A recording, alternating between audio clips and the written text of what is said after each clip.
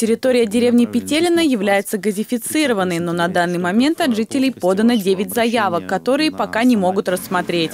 Этот вопрос обсудили на еженедельном совещании главы муниципалитета. Сама социальная газификация, она осуществляется в рамках программы. По этой программе правительство Российской Федерации выделило средства, но оно выделило не напрямую в каждую организацию, а единому региональному оператору газификации. У нас на территории области является АО «Мособлгаз». Чтобы дегазифицировать оставшиеся дома, газораспределительной организации необходимо получить подтверждение на финансирование от Мособлгаза.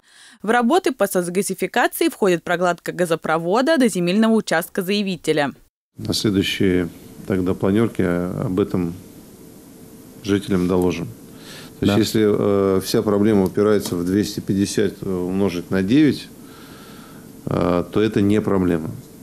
Если там нет сетей, нет лимитов, э, не знаю, там стоит забор, который мы не можем преодолеть, ну какая-то существенная, серьезная проблема, тогда э, будем ей заниматься. А найти в Мособлгазе или у нас э, 2,5 миллиона, ну, это не проблема.